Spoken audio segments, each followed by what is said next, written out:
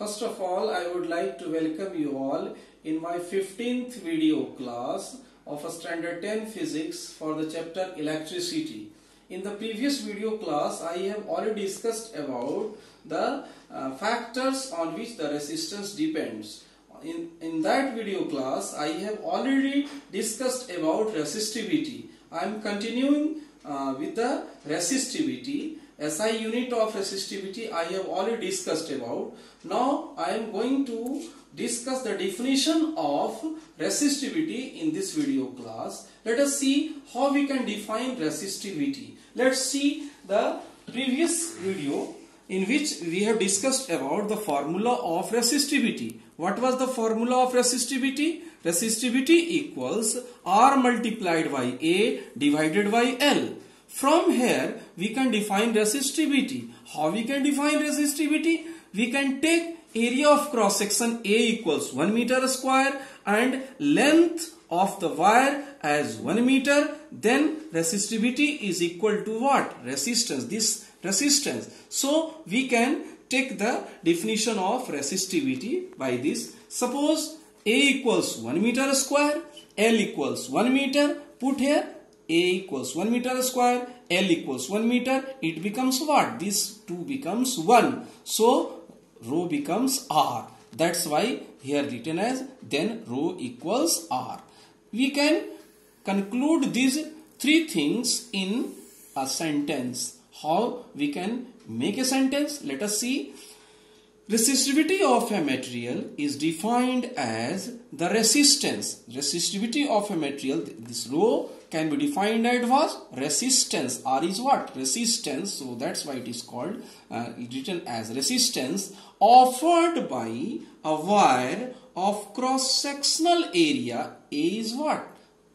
Cross sectional area and which is equals to what? 1 meter square. That's why here it is written as cross sectional area 1 meter square and having length length equals what? 1 meter. So this is the definition of resistivity that is resistivity of a material can be defined as the resistance of a wire having cross sectional area 1 meter square and having length 1 meter.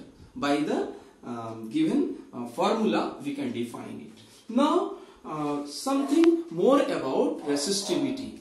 Certain material has different resistivity. Alloys, conductor, insulator. So uh, what are the, uh, what are the values or what are the ranges of uh, resistivity of certain material? Let us see the ranges for metals and alloys. The range of resistivity is of the order. This is the order. It may be more or less. This is the tentative order which is equals 10 to the power minus 8 ohm meter to 10 to the power minus 6 ohm meter for the what? Resistivity of metals and alloys and for insulator resistivity is of the order 10 to the power 10 or 10 to the power 12 to 10 to the power 17 ohm meter. You can see how much the high is the resistivity of insulator.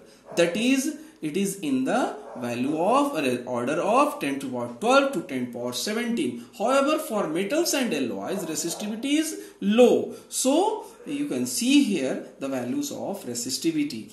And one more thing, we must notice that whenever we are taking the consideration of resistivity of alloys, then the resistivity of alloys must be uh, higher than that of the constituent metal through which the alloy are made up.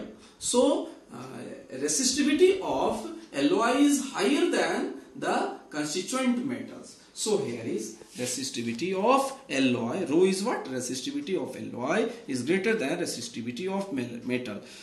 This property is used in this property that is resistivity of alloy is greater than resistivity of constituent metal property is used in heating electrical devices. In the heating electrical devices, the resistivities of the alloys have more than that of the constituent metal. Let us see alloys are used as electrical heating devices. Means what? Electrical um, heating devices are like uh, toaster, geyser, uh, electric iron. There are so many examples which produce heating effect. Those are called heating devices. In those heating devices, the alloys are used having high resistivity. Why alloys are uh, uh, used as electrical heating devices? The two reasons are there. One reason is what? Alloys do not oxidize readily. Oxidize means burn.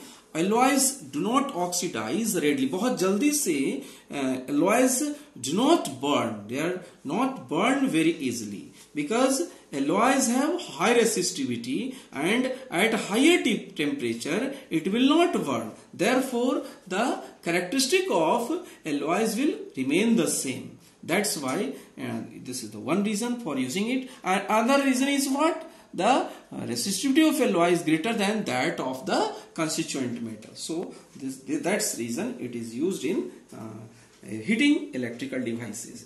One numerical which is based on resistivity. Let's see the numerical. Resistance of wire of length 1 meter, uh, 2 meter, sorry, 2 meter and of uniform area of cross section 0.01 meter square is uh, found to be 2 ohm calculate resistivity of wire that is we have to calculate what? Rho.